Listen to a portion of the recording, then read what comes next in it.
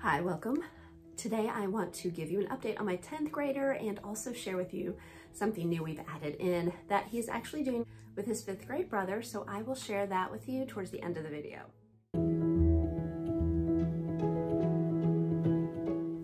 Hi, my name is Rachel. I am a homeschool mom of four boys, ages 10 to 20. I have graduated to this school year. I have a 10th grader and a fifth grader.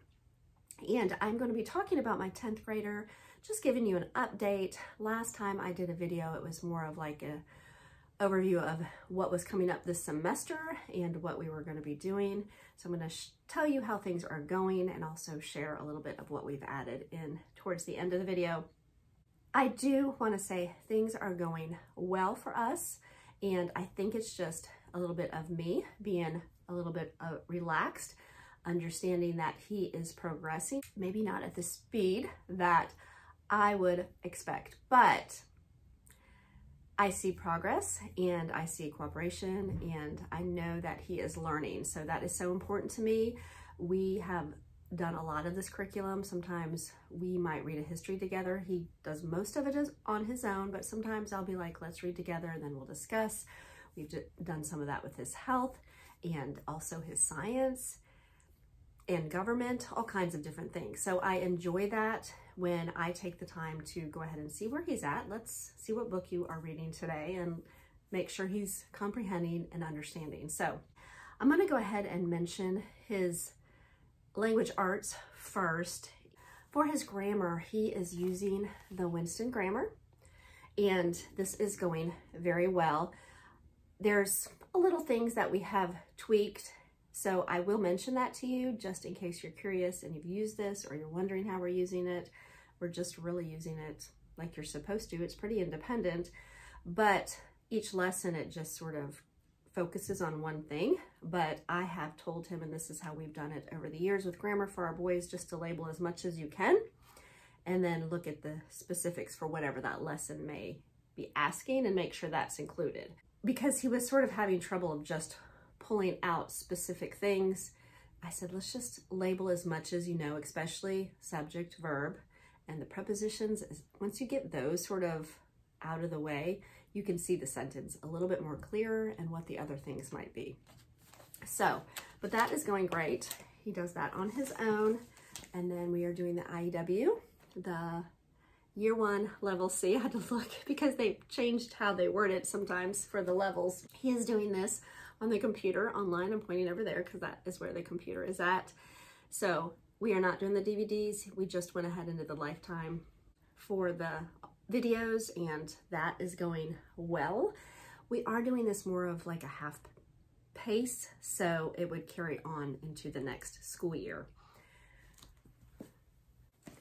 All right, I'm going to mention the guide we are using for his history and that is from Heart of Dakota and it is the US 1 guide.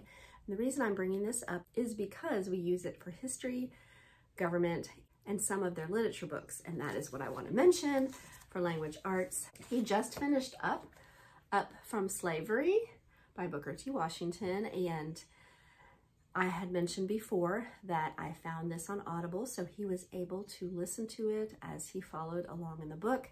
And he is not the fastest reader and I really think it helps when he sees and listens. It helps with his comprehension. So this was a really good book. And I, I actually, he usually did it at the table and did the audible on my phone. So I tried to plan it where I was in the kitchen doing something or folding clothes. So I enjoyed listening to it with him. The next book also I found on Audible, but he has not started it yet, is Rifles for Watie and that's also in the guide and I really do like how the guide has question and answer flow and annotates and it's really been helpful to him to think about the book also as he's listening to it. So that is for his literature. And since I have the guide out, I will go ahead and mention the books that he is using for history.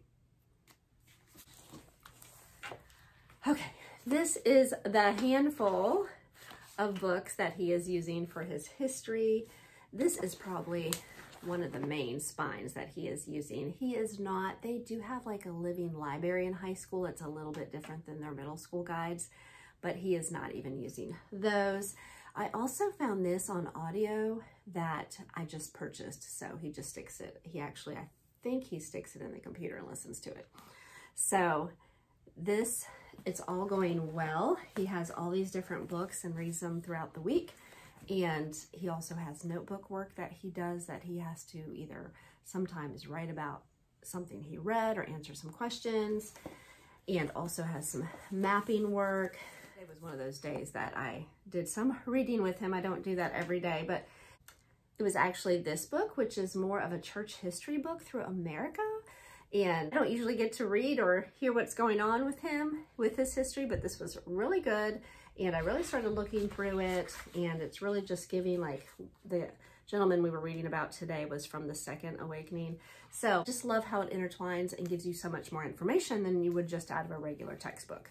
He also has these DVDs, which I took the time, this was yesterday, he watched this and I took the time to sit down and watch that with him. And I was like, this is really good. So I don't always get a chance to do that either. And so these are a set of DVDs and it's not every day he watches them, but it's all scheduled out, all these different books at different times throughout the week. And then also the notebook work that he has with that. He also has government in there, which is, show you these, which is a noble experiment, which actually has DVDs and whatever happened to Penny Candy.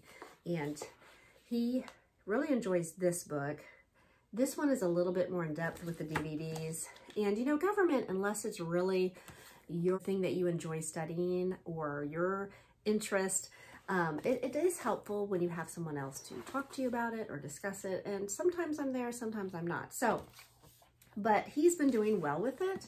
And also we actually were able to get this DVD from the same company that the history DVDs were from. Now this was not scheduled in the curriculum, but, and I, think I may have gotten it free. so we have some other ones from them, like something on World War One and World War Two, and they're all really, really good. So I thought I would love to have this one too, but it was sitting on the shelf and a week or two ago, he was not feeling well.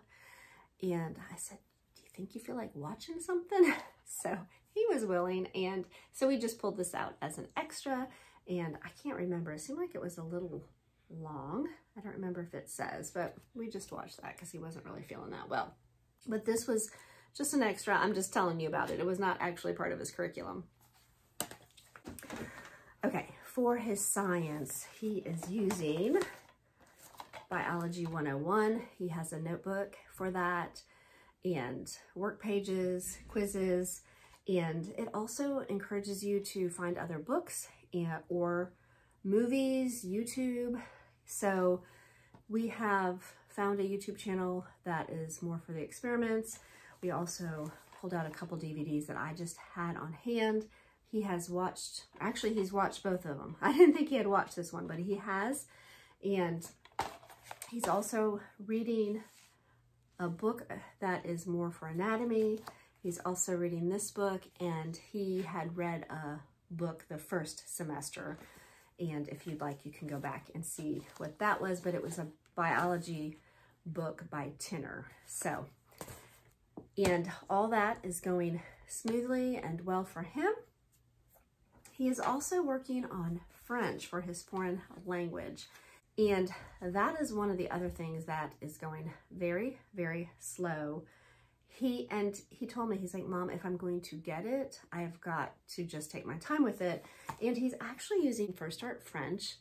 And he talks about words and i know he's getting it. So i'm just letting him take it on his pace making sure he's working on it. And we'll see what we're going to do if we're going to carry on with this but um he's definitely going to finish out this book Almost forgot to mention math, which is Math-U-See, Algebra 2.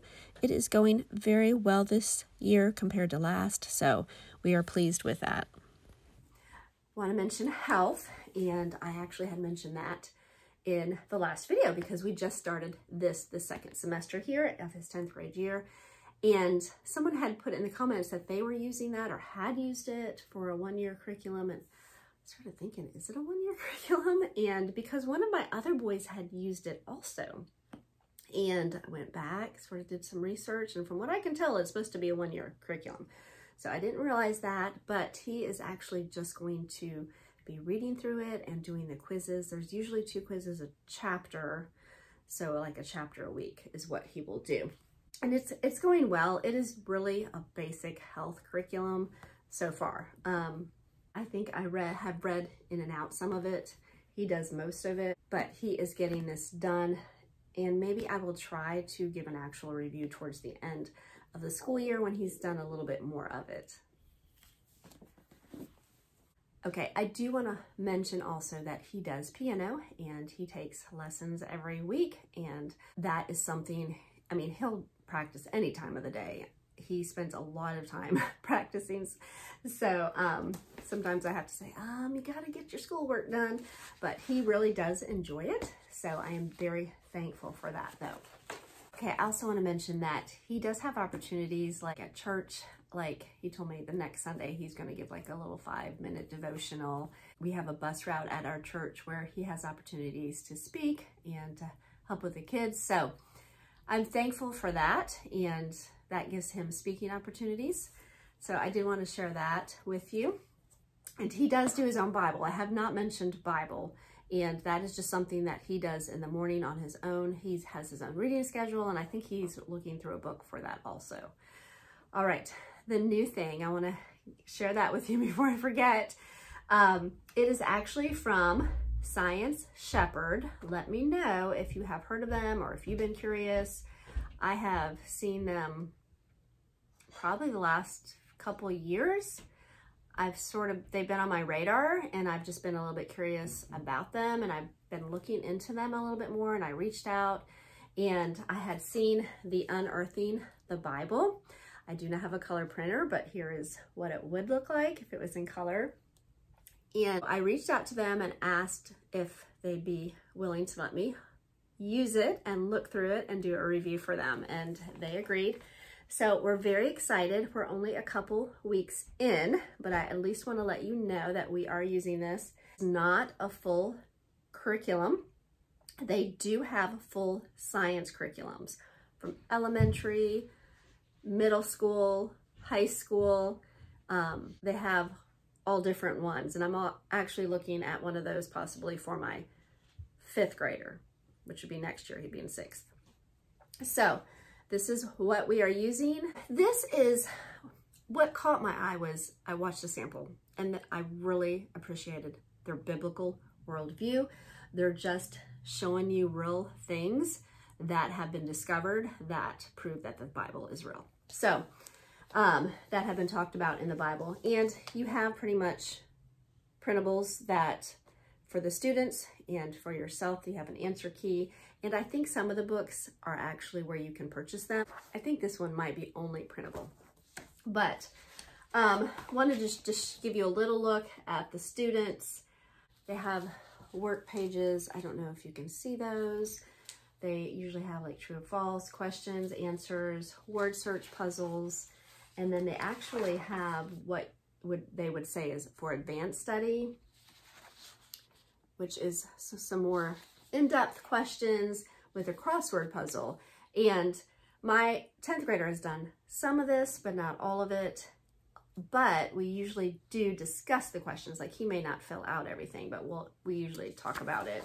And it doesn't take real long. The videos are probably you know, under four minutes, maybe longer sometimes. I feel like the last one we watched was longer than that.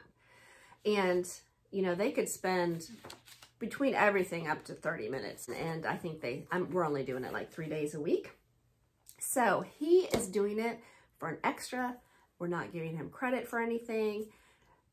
It is more upper elementary, maybe middle school for what I think they say the age is for. So now if you wanted to use it as a credit, it would be more of like you added into maybe if you were doing like an archaeology course with some books and you wanted to add in some videos and some other text and information. that would be a great add-in. We really have enjoyed it. I think this is actually our third week because I feel like we've talked about three different things they have discovered. So, but I will share a more in-depth video and review on that in the future towards the end of the school year. But I wanted to share what we have added in and that they can do together and they have enjoyed it. I usually sit with them and learn also. If you have any questions or comments, please leave them below and I appreciate you all watching and I will talk to you again soon.